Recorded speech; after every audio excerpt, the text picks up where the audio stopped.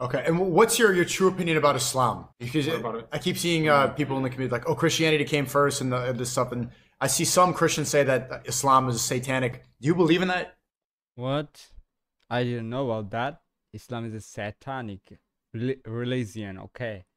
You actually believe Islam is satanic? Like the black cube worship, that stuff?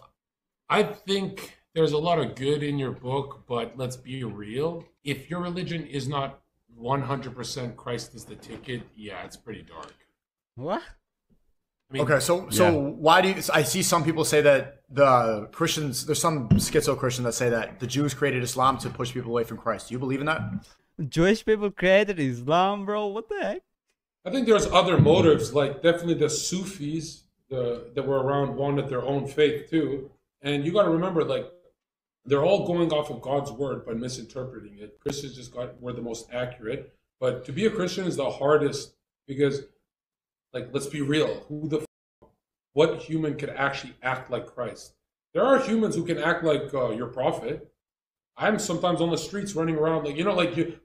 Those are traits that you can be like. Running around on the streets is like Prophet Like you Muhammad can go to sallallahu alaihi wasallam. war, you can have your prophet's traits, but you can't have Christ traits. Christ's traits Bro, you, you can't, you can't, you, you can't walk like that. If you're saying I'm I'm prophet, then you should be.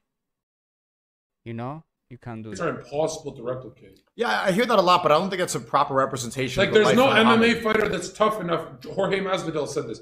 There's no human or MMA fighter tough enough that would say yes, I want to be cruci- like w- w- would be crucified. You know what I mean? No one would sign up to be crucified. You have that's literally the exam- best example of. But know, what I'm saying is, it's not the best representation to just paint Prophet Muhammad sallallahu alaihi wasallam as uh, Sallallahu someone who, like a wasallam. warmonger. If you I didn't say that. I said there's traits you can emulate, but there's very few traits. It's very hard for a human to emulate Christ because our nature is not that pure. That's why we need him. You know what I mean? Like at the end of the day, it's like But don't you believe it? So, but you're saying you don't emulate a lot of things that that Jesus in the Bible did. You're saying that I'm saying it's impossible. If someone said I want to be just like Jesus, good luck. You're not Christians even going to be all the time. one percent. But if, if if someone said I want to be like this prophet, you can emulate like 30, 40 percent of a prophet easily. But if you want to emulate Christ, you can't even hit one percent. It's impossible. You know, like that's the peak of purity. do you agree with everything that Jesus in the Bible? Do you believe in all of his teachings? Of course, yeah. Then why do you call yourself like the, the war mode sword of Christianity attack mode? Jesus in the Bible did not believe in any of that. Right, but again, we're flawed. I can't be Jesus. We're flawed. That's why we need the ultimate ticket of you're saved. Oh, it's mean we are trying to be Prophet Muhammad sallallahu alaihi wasallam.